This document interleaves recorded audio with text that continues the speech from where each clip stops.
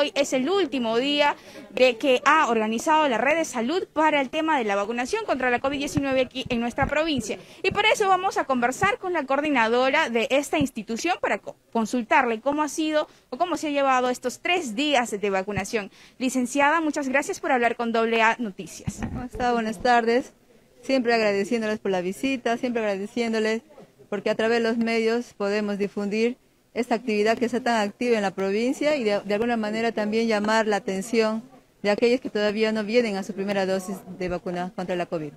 Así es, licenciada. Recordémosles a toda nuestra población que el miércoles 12 ha iniciado, ha reiniciado el tema de la vacunación aquí en nuestra provincia ya para el año 2022.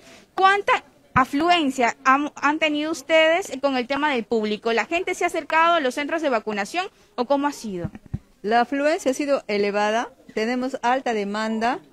Eh, en el análisis de las posibilidades que ha permitido que eso suceda, tiene que ver también con un, complejo, una compleja situación de cosas, como por ejemplo el Estado y su presión, eh, el condicionamiento sobre el uso de los espacios públicos o privados, eh, la vacunación de mayores de 50 años que deben tener de manera obligatoria la tercera dosis, el, el tema también de la influenza que está afectando a mucha gente, la nueva variante, que en este caso es el Omicron para lo que es la COVID, y una serie de factores que hace que todo eso se esté presentando. Entonces nos da un reflejo de lo mucho que todavía nos falta avanzar respecto de la vacunación COVID y lo que se va a tener que hacer para ese 2022. Recordarles también a nuestra población que la vacunación el día de hoy va a finalizar a las 9 de la noche, ¿no es así? Si hablamos de números exactos, licenciada, ¿de cuántas personas estamos hablando? Bien, nosotros estamos trabajando sobre una base eh, como una referencia, como hemos tenido hacia el 2021 en relación al comportamiento poblacional, donde teníamos más o menos 2.000, 2.500 personas diarias, en este caso que hayan recibido la vacuna. En este momento, en este escenario, ya tenemos en dos días, solamente en dos días, 7 mil personas vacunadas.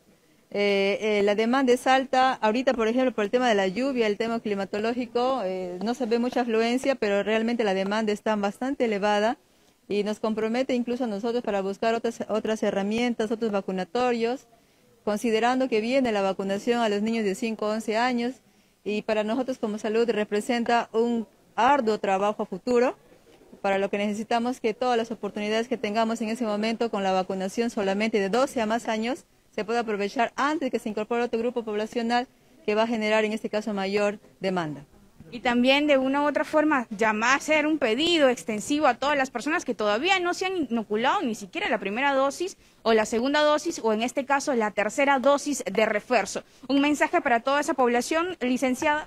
Bien, nosotros necesitamos reducir las brechas en el análisis de resultados encontramos que tenemos primeras dosis en alta escala, muy similar a las terceras dosis, significa que como que estuviéramos empezando un proceso, pero en realidad ya deberíamos estar concluyendo, lo que significa que tenemos todavía una población a la que todavía no hemos llegado, a la que necesitamos llamar la atención, decirles que necesitamos llegar a ellos y que los servicios de salud están aperturados para todos, ¿sí? Para todos. Y la vacunación es la única herramienta en ese momento para el mundo eh, que nos permitiría conservar la salud de la población, reducir las muertes y el daño social que esto podría generar en las familias de manera general. Y lo que buscamos solamente con este proceso es llamar la atención, convocarles a los vacunatorios. Tenemos previsto para la próxima semana aperturar nuevamente los vacunatorios. Estamos un poquito eh, cargados con muchas cosas en el camino, entonces de tal forma de que todo se convierte no, en una cosa no muy estable.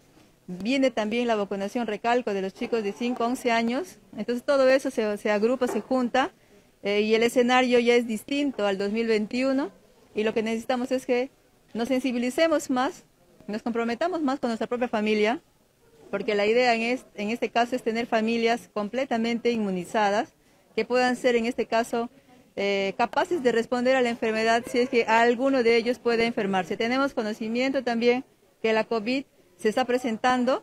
Tenemos varios casos positivos ya y lo que estamos buscando es que el impacto en estas personas y que no sabemos quiénes de repente también podemos ser nosotros sea menor respecto del momento en que la vacuna todavía no estaba siendo administrada en la población.